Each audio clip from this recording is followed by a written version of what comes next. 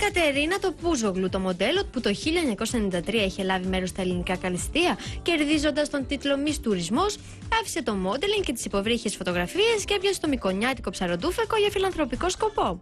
Είσαι και μόνιμη κάτοικος της Μικόνο. Ε, τα τελευταία χρόνια, ναι, πιστεύω πάρα πολύ στην αποκέντρωση, επειδή η δουλειά μου δεν πήγαινε καλά στην Αθήνα και Γενικώ μου αρέσει η φύση πάρα πολύ. Συμβάλλω σε όλες τις προσπάθειες που γίνονται και από εθελοντικές ομάδες στη Μύκονο για τους καθαρισμούς των παραλιών, του βυθού κυρίως εγώ. Ροφούς, ζαργούς και άλλα θαλασσινά ψαρεύει η φιλανθρωπική οργάνωση στην οποία ανήκει και η Κατερίνα.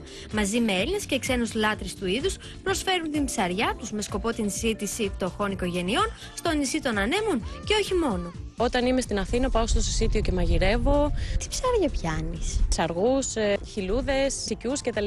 Συνήθως, αν βγει ένας καλός ροφός ή μια καλή στήρα ή ένα μαγιάτικο κτλ., είμαι οκ.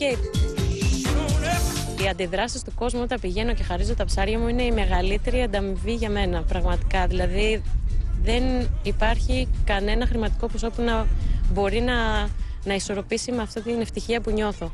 Η Κατερίνα μας διηγήθηκε και ένα περιστατικό που, όπως λέει, την σημάδεψε. Φέτος το καλοκαίρι είναι ότι έχω βγάλει από το νερό δύο φορές δύο νεκρούς ψαροντουφεκάδες.